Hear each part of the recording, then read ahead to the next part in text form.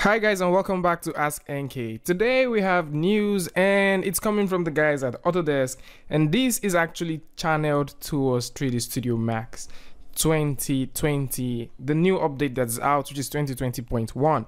And there's a couple of things that these guys have come up with. And if you remember when we did the review for 3D Studio Max 2020, I went about talking about a couple of things that they said they were going to do.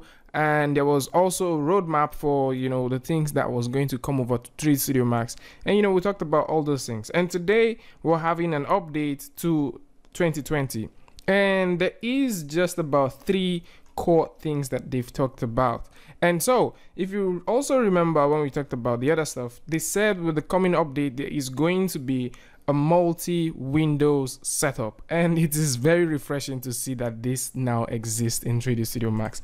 Like finally we have something like this and you can now actually you know dock and redock your your viewport and you know use it with multi monitor setup. This is going to actually help a lot of people especially if you want to work with the graph editor and at the same time you want to still see your viewport with a multi-screen setup or with a multi-viewport setup it's going to be very very easy. And from the guys at Autodesk they are claiming all right that these floating windows supports three viewports. So you're limited to using just three floating viewport which to me is still more than enough especially these days when people just basically have maybe just two monitor setup i think three is more than enough. The floating viewports are all functional and you know you can configure them separately. And this is super cool because at this point you can actually want to preview your models as clay on one viewport. And on the other hand you may also want to also preview them as maybe the basic shading uh, stuff like that maybe with lighting and other stuff you may want to do that. And it actually adds up to make complete sense. And still speaking about the viewport these guys have also gone ahead to say that every other thing gets to work with it. So you can also go ahead and you know multi windows.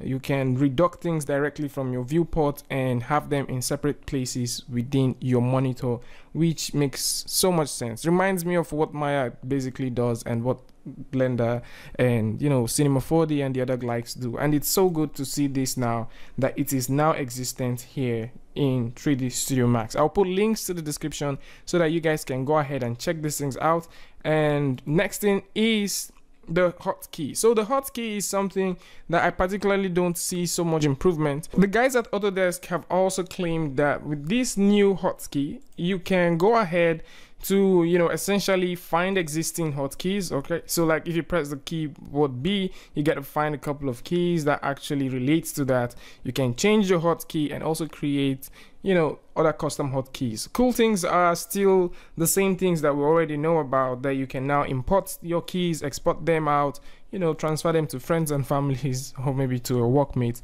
especially if you want to have a consistent uh, keyboard shortcut all through your pipeline now, the third and final update that has been made is to the chamfer. So there is a lot of things these guys are doing with the chamfer modifier and I cannot say the least. So the guys at 3D Studio Max have invested so much time in working on the chamfer modifier and it has some cool updates that comes with it. And so now the chamfer modifier can actually be driven by weight channels. All right, so you can now use weight channel data from meshes to actually control this. You can still go ahead and play with different maps. So you can see you can now drive this by the weight and also you can scale that. You can also use the depth type to actually get some sort of uniform uh, metered corners around an object. And this doesn't just exist for edges. So you can still use these and drive uh, vertices and faces at the same time. And you can see it has a brand new radius bias which controls the radius of the chamfered corner. And I think this might make a lot of sense especially if you're into hard surface modeling. And yeah so these are basically cool stuffs that has showed up and there are just three of them. And for the bug fixes Yes, of course, they've gone ahead to do some enhancements for things like the Max script and they've also fixed a couple of bugs. So I'm going to put link in the description so you'll be able to find these things out. Link also to the forum, to the community forum, where you can check out what people are saying there, is also going to be in the description. I've not been able to get my hands on this tool, that's why I've not tried it yet. But once I do get my hands on it, I will probably, you know, try it and maybe tell you guys what my feedback is. And tell me what you guys think about this in the comment section. Do you like 3D Studio Max? Have you used 3D Studio Max? Do you use 3D Studio Max? Tell me what you guys think about this in the comment section below. You can go ahead and check out the review which we did for 3D Studio Max and also check out a couple of tutorials where we get to compare Maya versus 3D Studio Max. So just in case you want to get into 3D and you're wondering which of them you want to work with, you know, you can go through and check these things out. And if you like this video, you know what to do. Go ahead, hit the like button and also turn on notification. And if you're new here, it's going to be super amazing if you can hit the subscribe button and also turn on notification because we release new content every day. And until I see you guys again with a tutorial update, free Friday, tutorial Tuesday, tips and tricks, things like this. Peace.